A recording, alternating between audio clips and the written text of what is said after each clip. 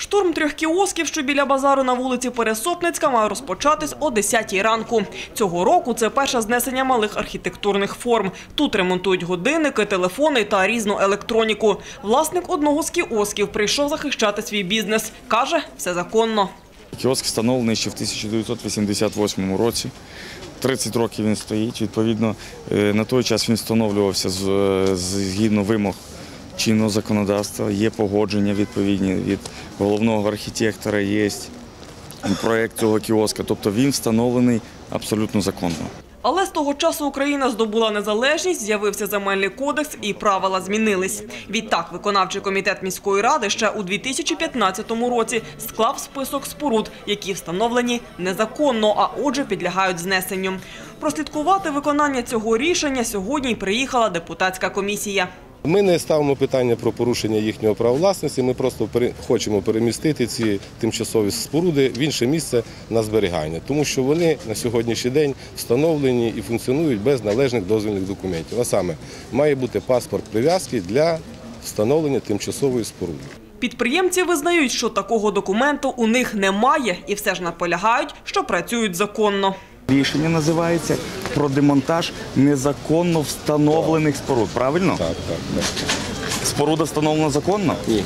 У вас ніколи не було належним чином оформленого договору оренди земельної ділянки. Він у вас був? Був, звісно, попереднього власника. У мене його зараз Покажіть, немає, не у можу вас вам його особисто він продемонструвати.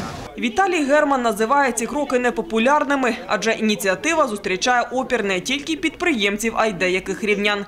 Ці люди мешкають у дворі за кіосками. Для них вони слугували заміною паркану. Гарантують хоч якийсь спокій. Нам невигідно буде. Знаєте чому? Ми зробили із того вибачте, що-небудь схоже на двір, то сьогодні це відкриється і всі бомжі будуть тут. Але почати демонтаж не вдається. Під'їзд до мафів перекрили чиїсь автомобілі. Щоб знайти їх власників, викликали поліцію. За тим, що відбувається, весь час спостерігають молодики спортивної статури. Вони нібито клієнти того самого кіоску. На добровольних засадах сюди прийшли. Ремонтувати взуття і телефон треба перемонтувати. Невдала покупка вдруге, ви зараз ремонтує телефон. Автокран до мафів так і не підступився, тож операція по знесенню кіосків не вдалась.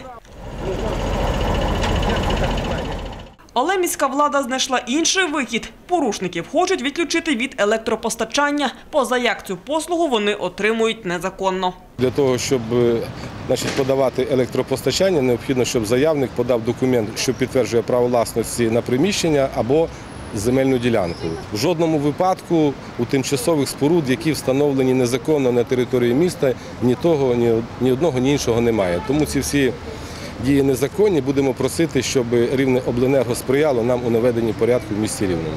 Зустріч міської влади та керівництва Рівне обленерго з цього приводу відбудеться вже завтра. Підприємці ж зайняли позицію очікування, поки працюють, а в суді оскаржувати рішення виконкому не планують. Ірина Михалевич, Дмитро Хитрий. Інформаційна програма День.